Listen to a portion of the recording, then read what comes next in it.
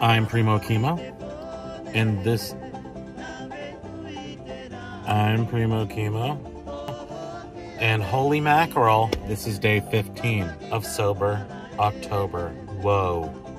Halfway through. Another 15, 16 days to go. Don't split hairs on me. Wow, that's pretty cool. Excellent. Look at that little motel right there. Little crackhead motel right there. It's just been abandoned for, I think, since I moved here 26 years ago. Waiting for Bridget right now. Had a huge day of packaging eBay stuff and shipping stuff out and looking at DMX drum machine controllers so that I can recreate Blue Monday by New Order with actual electronic gear. Look, there's Bridget. Can you see her? She's getting in the car. There's a package that has to go to FedEx. What do you think about that? I don't think she thinks anything about it.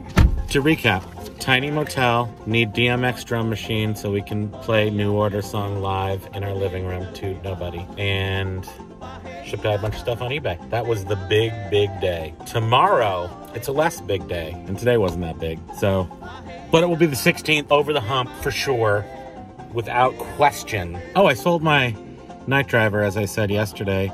And then I bought a Pac-Man. So that is junk neutral. And then I'll put a 96 in 1 Pac-Man game, which is every version and every permeation of said Pac-Man in one cabinet. And then you can just play that all day long when you should be working. And so that's probably a bad idea. But I needed it. What can I say? Do I look like a person that doesn't need stuff? No. Chocolate, pizza, other things. So let's recap again. Motel, DMX for Blue Monday, package stuff on eBay, got a Pac-Man, wife's here, got to drop something off at FedEx, and uh, we'll seal that up with a bow. Thank you very much for your continued support. It's wonderful, and bye.